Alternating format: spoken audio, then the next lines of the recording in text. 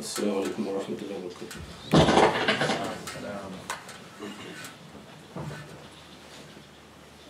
الله أكبر الله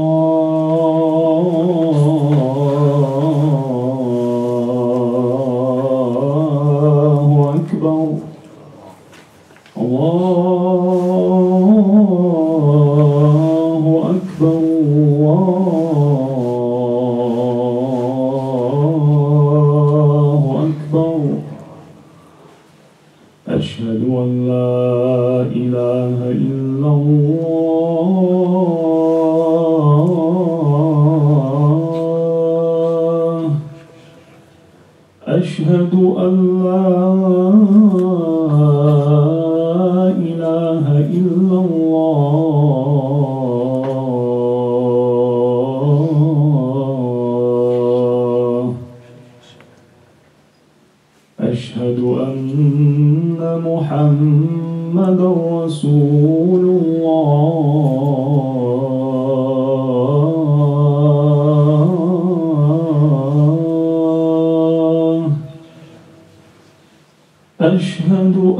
أن محمد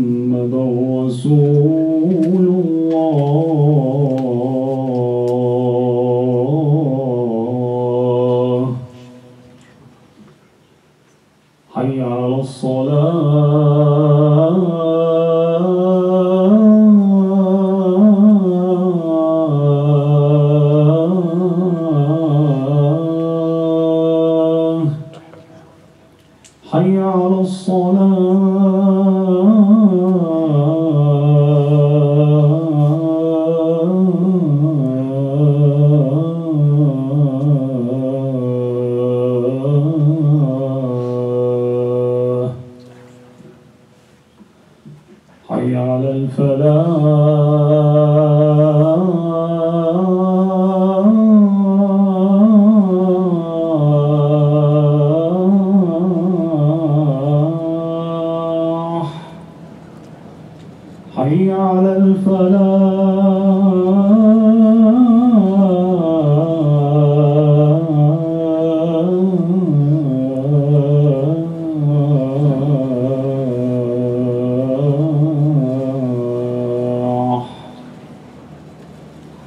الله أكبر.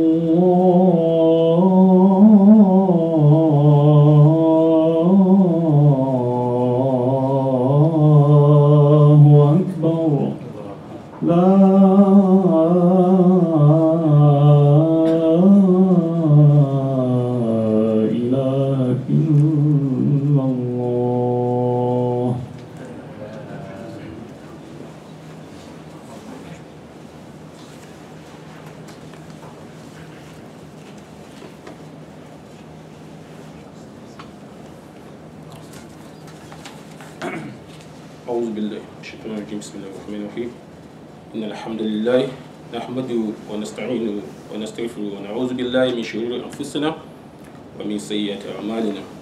من يهد الله فلا مضل له ومن يضلل فلا هادي له. وأشهد أن لا إله إلا الله وحده لا شريك له.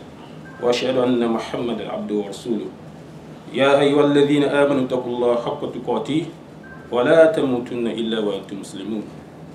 يا أيها الناس اتقوا ربكم الذي خلقكم من نفس واحدة وخلق منها زوجها وبث منهما رجالا كثيرا ونساء واتقوا الله الذي تساءلون به والأرحام إن الله كان عليكم رقيبا. يا أيها الذين آمنوا اتقوا الله وقولوا قولا سديدا يصلح لكم أعمالكم ويغفر لكم ذنوبكم ومن يطع الله ورسوله فقد فاز فوزا عظيما. أما بعد the khutbah today addresses importance of learning Quran uh, the Holy Quran is a divine book uh, in which Allah subhanahu wa ta'ala has blessed us with a complete uh, code of conduct. Uh, Quran, as we knew, include every aspect of life which is a person needs to know about. The best of all education in this world is the learning and the teaching of Quran. Rasulullah wasalam, reported to have said that all people I am leaving behind among you the holy book, Quran and the Sunnah, way of life of Rasulullah wasalam. If you follow this in letter and in spirit, you will never be lost. Uh, Aisha, one of the wife of Rasulullah wasalam, was asked, what is the attitude, what is the behavior of Rasulullah wasalam? And she replied, his behavior, his attitude is Quran. Uh, Quran learning is very noble act which should be performed by every Muslim man and woman. It gives him or her knowledge about all aspects of life, bring near to the Creator and will be a proof of reward of his or a good deed on the day of judgment. When Quran was revealed to Rasulullah wasalam, the first verse was read. Read in the name of Lord who has created all that exists. He has created man from a clot, a piece of thick, coagulated blood. Read, and your Lord is most generous, who has taught the writing by the pen. He has taught man that which he knew not. This is Quran 96, verse 1 to 5.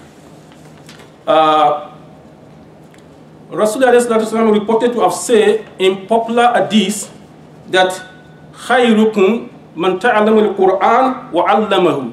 That is the base of you is he who learned the Quran and taught it in, to others. This hadith is reported by Bukhari and then you find it in so many narrations. We learn this hadith that best of all are those who associated with Quran by learning it and impacting its beneficial knowledge. We ethics and rules of learning Quran. We learn from uh, the Sunnah of Prophet Muhammad sallallahu alaihi wasallam and from the tradition of his companions, Sahaba. May Allah subhanahu wa ta'ala please with them that Quran should be recited with esteem and concentration of heart and mind. Uh, Muslims, when memorize and learn Quran, they need to keep revising it so that they do, they do not forget it. Because forgetting after learning Quran is a very sinful act. So one is enjoined to continue revising Quran until one's last moment in this world. According to a scholar that explained this to serve as a sort of warning to us that all people of the Quran do not make the Quran a pillow. That is to not be lazy and be careless and read the Quran in the day and night, like in the heart of recitation, and spread it. That is, read in good voices, do not take compensation for it. Today, you discover that uh, average or good number of Muslims, we are not uh, justice to the recitation of Quran. I received uh, a message some days back, which is very interesting, that nowadays you can discover, you can dictate, you can say when one is online. For instance, when you check online, Facebook, you discover somebody is online 10 minutes ago. If you check Viber, somebody is online five minutes ago. When you check uh, BB, you discover somebody is online three minutes ago. If you check WhatsApp, you discover somebody is online right now. But when you check Quran, you discover somebody was online last Ramadan. This, of course, will not make us to achieve success in this world and hereafter. You should know that when you die, your Viber, your Facebook, your WhatsApp, everything is offline. What will be online is your Quran because it's your Amal Salih. And it's what will be your companion in the grave.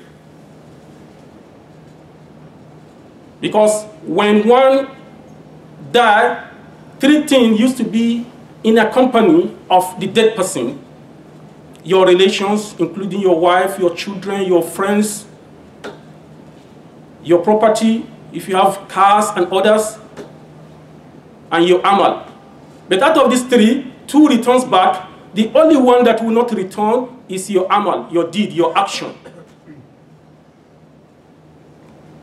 So please, we should try as much as possible the opportunity we still have, the opportunity we have that we are still existing, we should try to see that we revive this practice of Rasulullah the practice of the companions by trying to make Quran to be our companions. If you make your, if you make Quran to be your companions in this world, Quran will be your companions in the grave.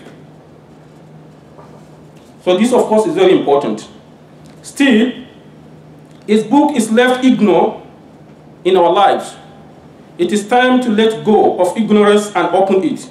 All those things that worries us and we are busy fixing them and are left with no time for Quran, there is one simple answer to it. Allah says, whoever was kept busy with the recitation of Quran from my zikri and was not opportune to ask me of his need, I will provide for him. I will give to him much better than what others have requested from me.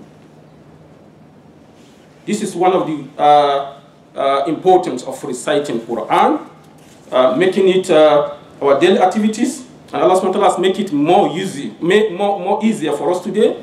Wherever you are, uh, you have answered. It does not necessarily mean that one will read Quran at a time uh, to, to your satisfaction. You may read parts anytime you have leisure time you read, but one should not make Quran to be something that is not your companion. And how you you believe now, why you are fortunate, one to whom the verse of Allah are recited, and the messenger of Allah subhanahu wa ta'ala blessing and peace be upon him, uh, is himself present among you. And whoever hold fast to the embrace of Allah is most surely guided to the straight path.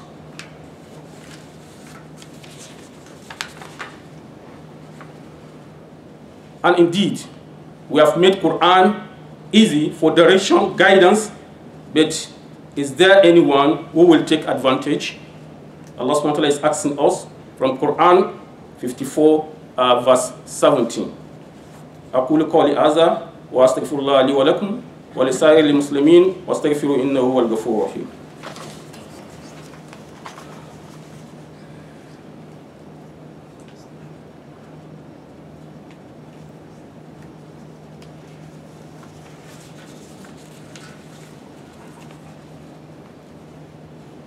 the benefit of Quran.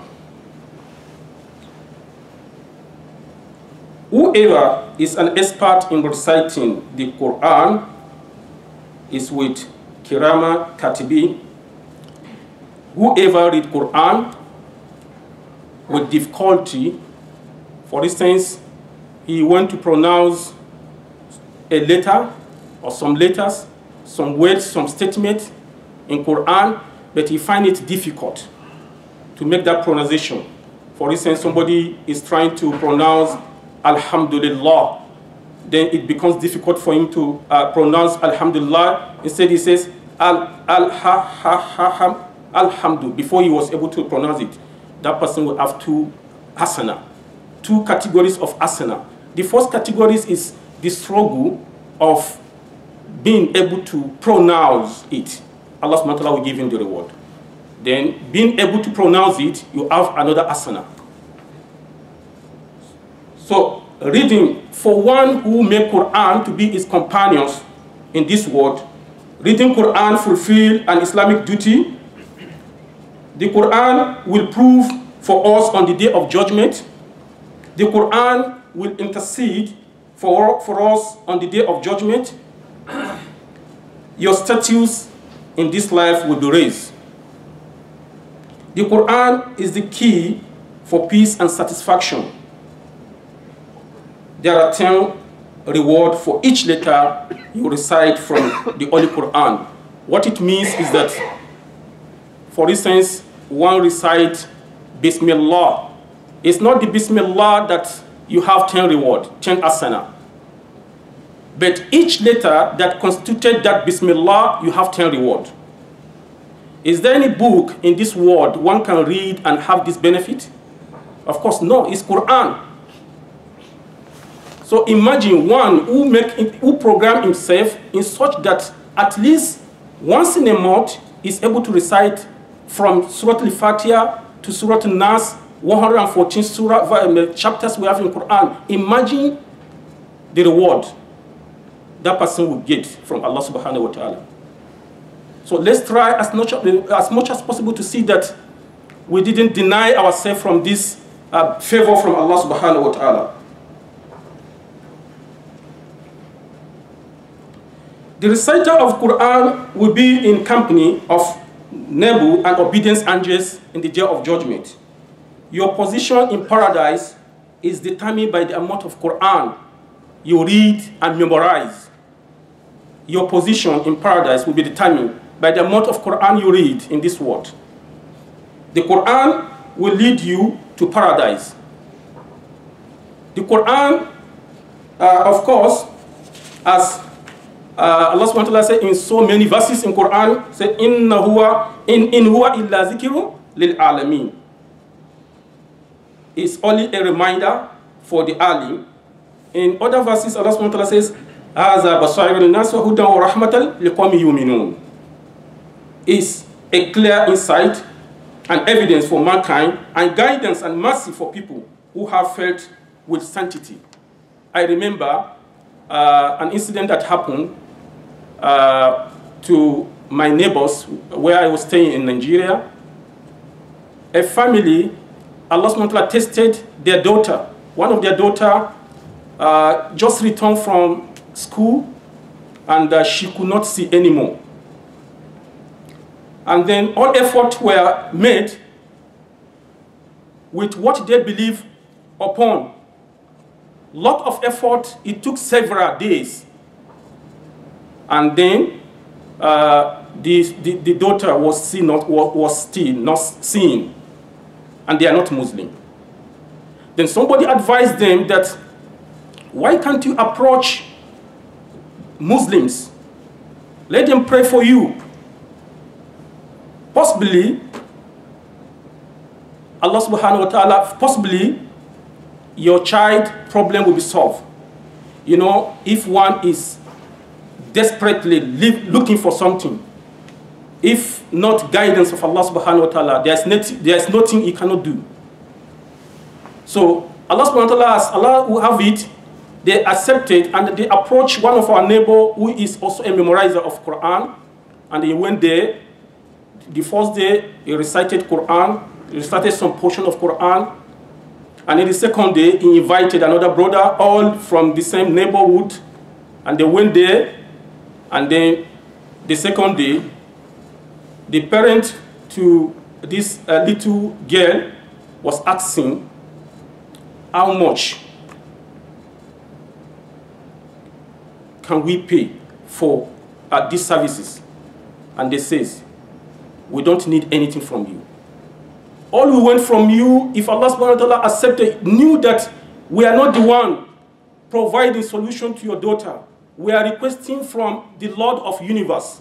But what we want from you, if Allah subhanahu wa ta'ala accepted this prayer, what the only thing we want from you people is for you to accept Islam. And they say it's a, it's a simple thing. We have suffered, we have done a lot, we have spent. If Allah subhanahu wa ta'ala should make this successful, we are going to accept Islam. And Allah, as Allah subhanahu will have it, the second day, they recited different portion of Quran as Allah wa ta'ala, before they leave the house, the, the, the little girl started singing. And the family of eight all accepted Islam.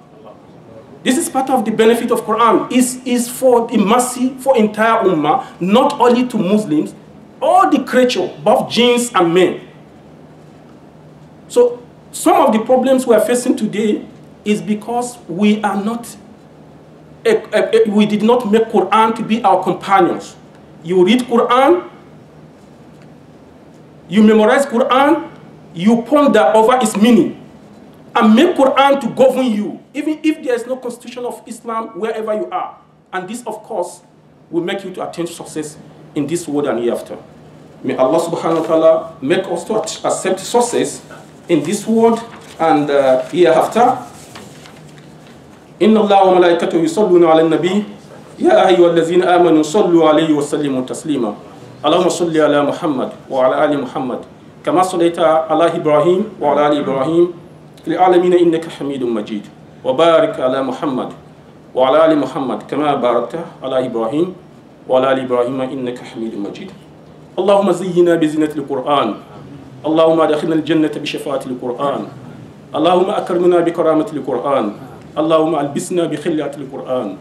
اللهم شرفنا بشرافة القرآن. اللهم ارحم جميع أمة محمد بحرمة القرآن. يا رحيم يا رحمن. يا رحيم يا رحمن. اللهم اهدنا ووفقنا إلى الحق وإلى طريق مستقيم. ببركة القرآن العظيم وبحرمة من أرسلته رحمة للعالمين. واعف عنا يا كريم وعافنا يا رحيم. اللهم اجعل القرآن حجة لنا ولا تجعله حجة علينا. اللهم اجعلنا ممن يكره فيركى ولا تجعلنا ممن يكره ويذل ويشقى.